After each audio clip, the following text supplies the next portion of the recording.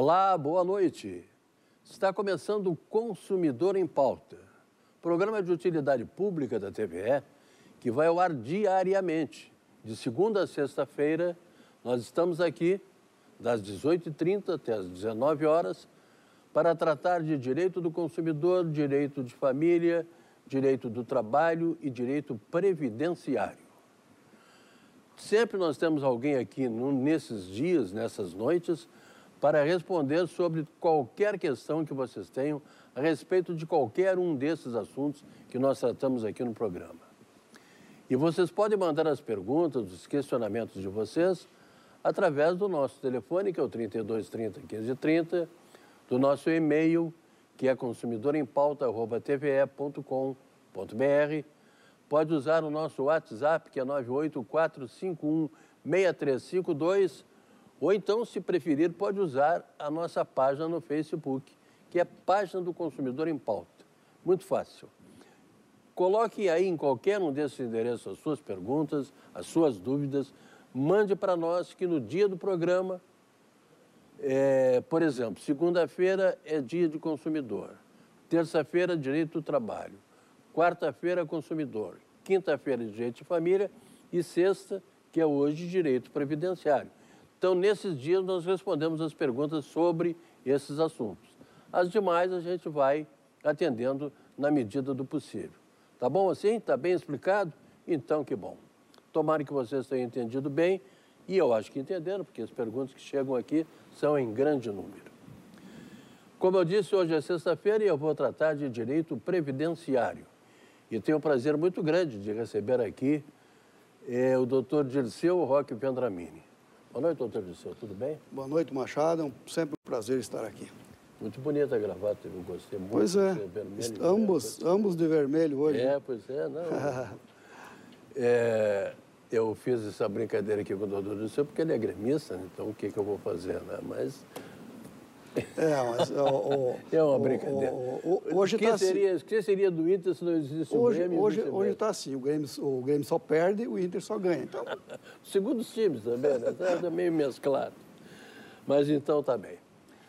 Doutor Jusceu, nós temos várias perguntas aqui e eu quero começar com uma que, que o, o Marcelo Parker, que é o nosso produtor, me trouxe agora há pouco. É uma pergunta do seu João, que mora aqui em Porto Alegre que não sou eu. E ele se aposentou por invalidez aos 60 anos. Agora ele tem 71 anos. E gostaria de saber se ele pode ainda ser chamado para outra perícia médica pelo INSS. Seu João, não. O senhor não pode ser chamado. Por quê? Porque a própria lei diz que quem tem mais de 60 anos e é aposentado por invalidez não pode ser chamado para perícia.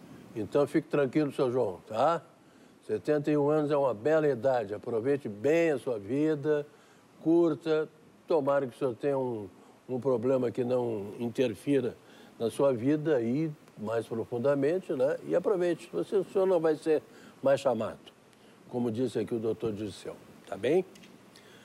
O senhor Augusto também mora aqui em Porto Alegre. Ele tem 70 anos. Ficou encostado no INSS de 2009 até julho de 2017, quando recebeu alta. A advogada dele achou melhor pedir aposentadoria por idade, 33 anos de contribuição ele tinha. Ela pediria depois a averbação referente ao período que ficou encostado no INSS. E ele faz duas perguntas. A primeira é se existe possibilidade de a, de a Previdência rebaixar o que ele ganhava antes do salário de benefício. O senhor quer responder essa pergunta primeiro? Pode ser, pode ser. Em tese seria possível. Em tese seria possível. É, por quê?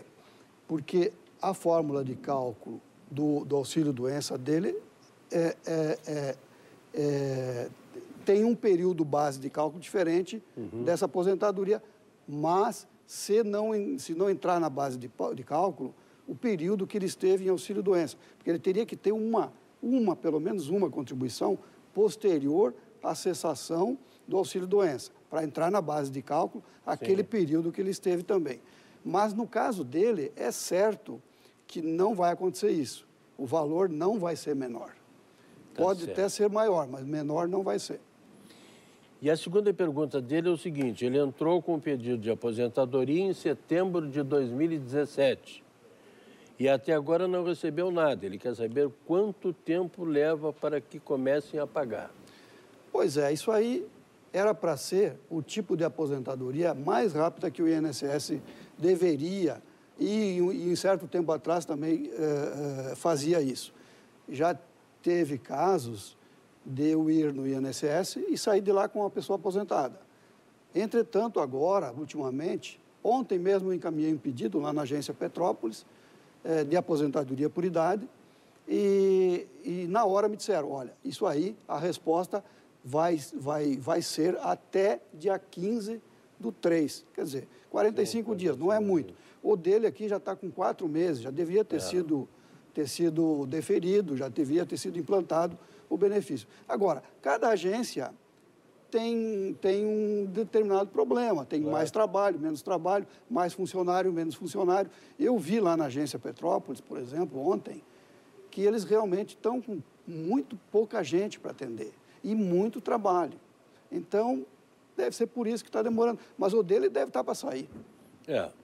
Então, senhor Augusto, o senhor espere um pouquinho aí, em seguida vai ser a sua aposentadoria o senhor vai receber. E recebe todos atrasados, né? É, e- e o, o dele... Ah, não, o dele é diferente. O, o- não, o dele, ele, ele recebe atrasado desde, desde setembro, Desde né? setembro. Mas o dele tem mais uma particularidade. Ele tem 70 anos Uhum. e tem 33 anos de contribuição. Eu não sei se nesses 33 está contando o período de auxílio-doença, sim ou não. Bom, mas vamos dizer que não. Tem 33 anos de tempo de contribuição. 70 de idade, isso vai dar um fator previdenciário muito favorável para ele, de mais ou menos 1,4. O- Isso significa o quê? Que sobre a, sobre a média do salário de contribuição dele, dos 80% maiores, ele vai ter um acréscimo de 40%. 40%. Quer dizer, ele vai ter uma. Talvez para ele, até melhor do que aposentadoria por idade, seja aposentadoria por tempo de contribuição. É. Ou a mesma aposentadoria por idade, porque, porque na aposentadoria por idade, o fator previdenciário ele é, é, é uma opção. É uma opção do próprio. Então, ele pode optar pela aposentadoria por idade com o fator previdenciário. Como ele fala numa advogada aqui, certamente ela vai. Mas certamente o orientá-lo advogado já da- orientou, assim, já até encaminhou dessa forma. né? Claro, exatamente. O senhor Carlos Otaviano mora na cidade de Canoas. Ele pagou o INSS até 2012. Em 2005, ele completaria 35 anos. Eu acho que é de contribuição, né? Certamente. Então, tem que pagar os últimos três anos para ter direitos adquiridos? Olha, pelo que eu entendi da pergunta, até 2012 ele pagou.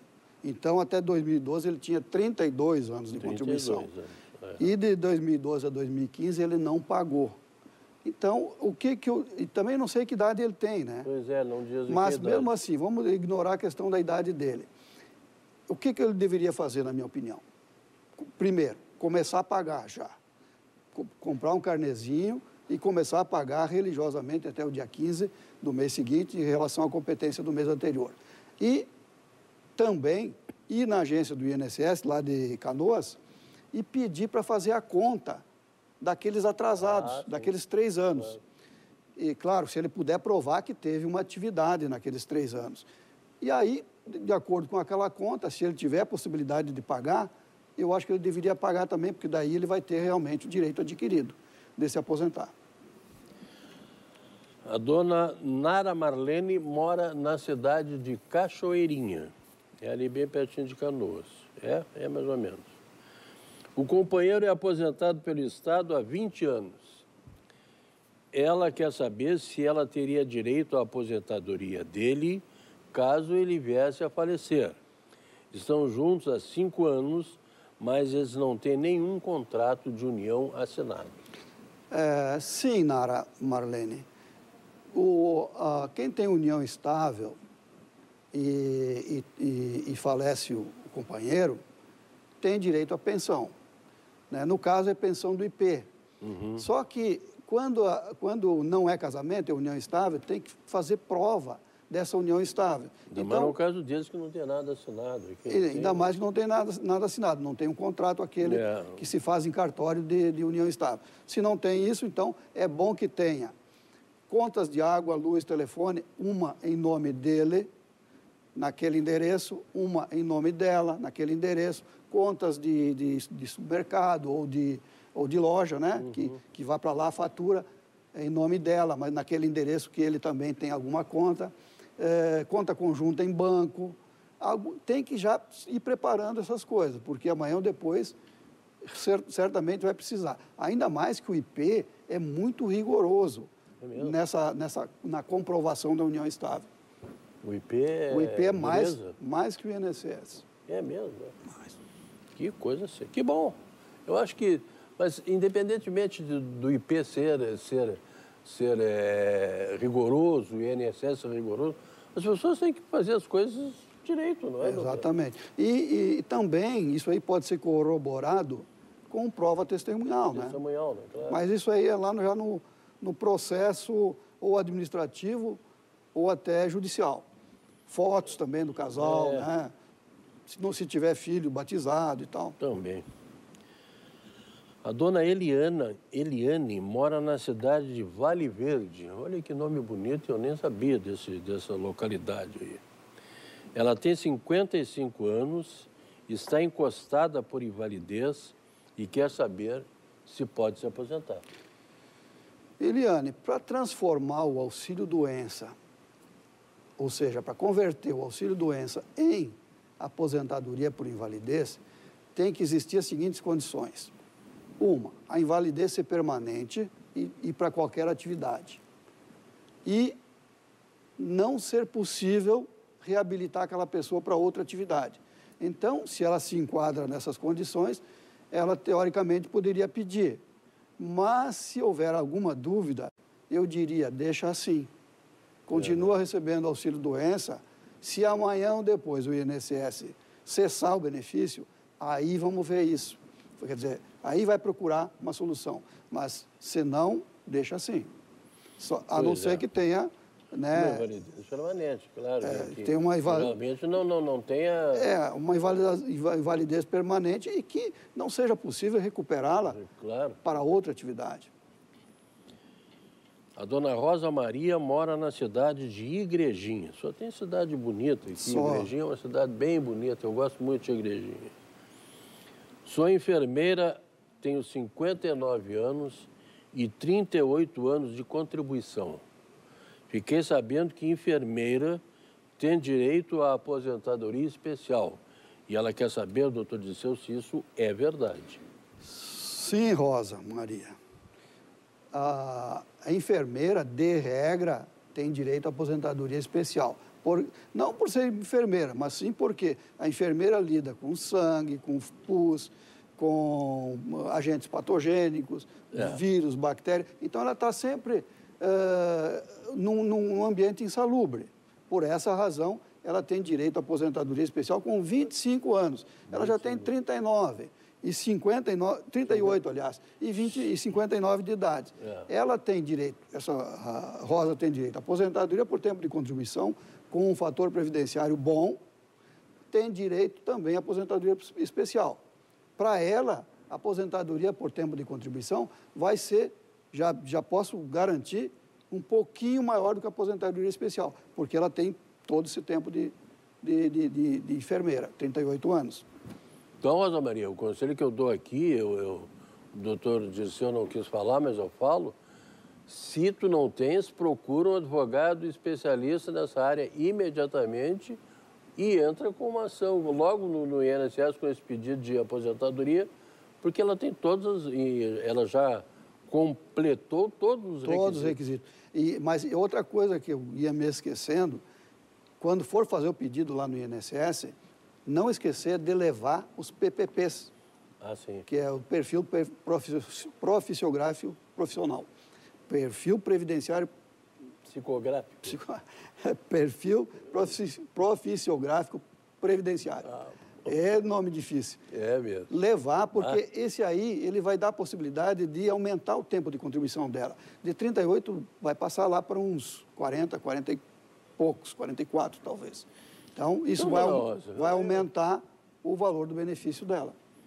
Aí, dona Rosa, então aí aproveite e faça tudo isso que o doutor Disseu está dizendo aqui. Resolva logo essa situação, se aposente e vá curtir a vida. Longe dos hospitais, outras coisas parecidas.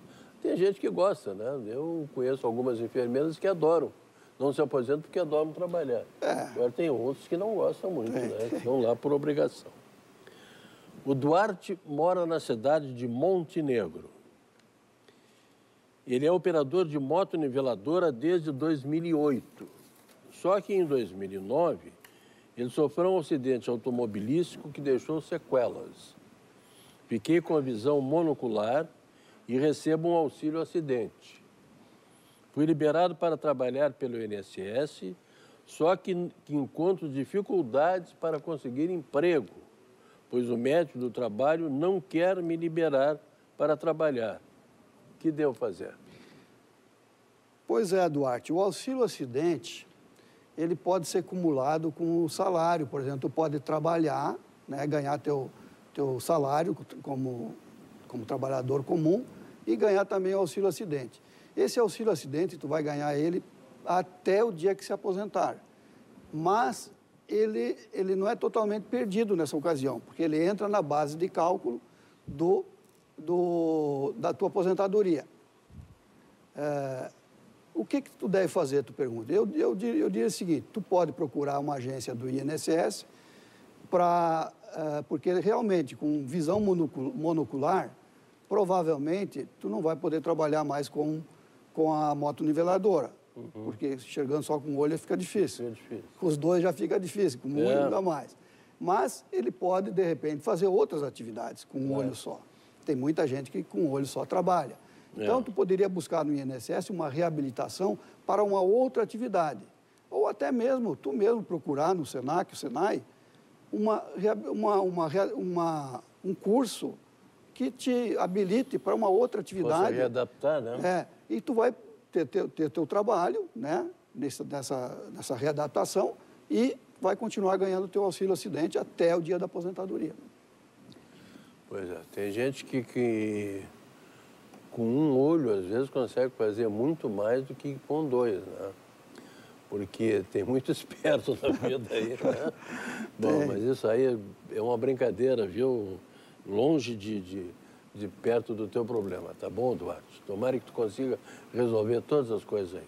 Só queria avisar o, ao pessoal da, que eu esqueci de colocar o meu ponto. Então, eu fico dependendo do Adolfo aqui para que ele me avise o tempo do programa, tá bom? É, o Jonathan mora aqui em Porto Alegre. Minha enteada recebe pensão por morte da mãe através de minha conta, já que eu sou o representante legal. No entanto, ela completou 18 anos e ele quer saber qual é o procedimento junto ao INSS para que a enteada dele possa abrir uma conta e passar a receber diretamente o valor que ela recebe hoje. Jonatas, de, de fato, a tua enteada vai receber pensão até os 21 anos, tem mais três anos, portanto. É, e com 18 anos, ela já pode manejar a conta corrente dela individualmente, uhum. sem necessidade de assistência nem de pai, nem de, de nem de, de tutor. O que, que ela deve fazer? Procurar um banco, abrir uma conta em nome exclusivo dela. Depois, com essa conta, é, o, o, Jonatas e ela podem ir na agência do INSS, onde, a, que mantém o benefício dela, e pedir para transferir uh, os créditos, não mais para a conta dele, mas para a conta, conta dela. dela, que foi recém-aberta. Então não é tão difícil assim. Né? Não, né? é uma coisa é, bem simples. Absolutamente simples. Olha aqui, ó, outra cidade bonita. Selene mora na cidade de Nova Hartz. Ela tem 54 anos e completa 30 anos de contribuição para o INSS em 10 de fevereiro de 2018, daqui a poucos dias. Uhum. Para eu me aposentar com o cálculo do fator previdenciário, preciso somar 85. Se a reforma for aprovada agora em fevereiro, quanto tempo leva para ela entrar em vigor? Eu completo 55 anos em maio Então, a partir daí, poderia me aposentar pelo fator previdenciário? É. Ela, eu acho que ela está perguntando se ela podia se apresentar sem o fator previdenciário. É, eu acho que sim. Né? Mas, enfim. é, olha, quanto tempo demora isso? Na- no texto eh, da emenda constitucional, que está aí para ser votado, agora em fevereiro, pelo menos é a intenção do governo, diz que, se aprovado, entra em vigor na data da publicação. Bom, ela vai ser eh, votada, se tudo correr bem, ou se tudo correr mal também para uns, né? Se tudo correr mal, vamos dizer assim, ou bem, pode ser votada agora em fevereiro, eh, 24 de fevereiro que falam, né? É. Bom, aí talvez com uma semana já, já possa ocorrer a segunda votação. Aí com mais uma semana pode ir para o Senado. Lá para o fim de março, pode vir a ser publicada realmente. certo, Se claro. tudo correr bem ou mal, pode vir a ser publicada no final de, de março. E aí ela entra em vigor. Nesse caso, né, se acontecer tudo isso, em 10 de 2 de fevereiro agora, né, ela já tem o direito adquirido a se aposentar por tempo de contribuição, com o fator previdenciário, que é muito ruim para ela.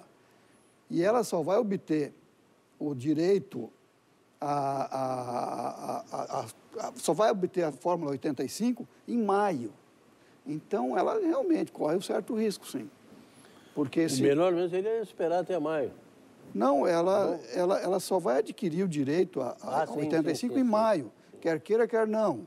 Né? Porque ela, só, ela vai completar mais um ano em, em ó, 55, né? É, em maio. Então, ela vai ter que completar, contar 55 com 30 dá 85. Né? É. Só em maio que ela vai excluir da conta do benefício dela o fator previdenciário. E- Mas eu acho, doutor eh, Dilson, em primeiro lugar, que não haverá votação em fevereiro. Pode ser. Segundo lugar, acho que não haverá votação esse ano também. E É terceiro, minha- é- é minha- terceiro lugar, opinião. pode haver votação e não passar, E não passar. porque a conta está. só, só vão votar se tiver garantia Ah, que passe. Sim, sim. Isso o senhor pode ter absoluta certeza. Ah, é Vou lhe fazer a última pergunta, porque nós já estamos em cima da hora. É, o Rodrigo, de Porto Alegre, quer saber se com a reforma da Previdência, quem recebe pensão militar por morte e é servidor público continuará acumulando os benefícios como é atualmente. Pois é, Rodrigo. Na emenda constitucional que está tá sendo proposta, que pretende alterar as regras da Seguridade Social, ah, só há previsão que não pode acumular a pensão por morte e aposentadoria cujo valor supere dois salários mínimos. Nada refere em relação a acumular pensão por morte militar com, com salário ah, de, de servidor. né? Aliás, a, a emenda constitucional não fala em momento algum Algum, né? em, em- em benefícios militares. Não mexe nos benefícios de militares. Então quer dizer que isso aí dá uma tranquilidade. Para que- ele, para o Rodrigo, pode ficar tranquilo.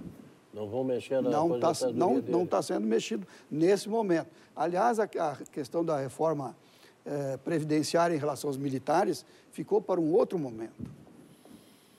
Posterior. Se a né? gente já não sabe qual vai ser o momento dessa, É, o outro então que- como é que vai saber o momento da outra?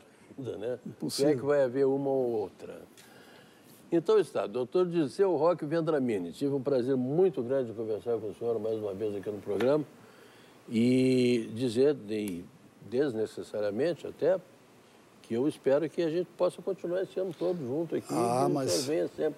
Não tenha dúvida que, se depender de mim, a gente ficará junto, continuará juntos. E que bom, vamos acompanhar de perto juntos esse negócio da, da nossa Reforma, né? reforma previdenciária aí.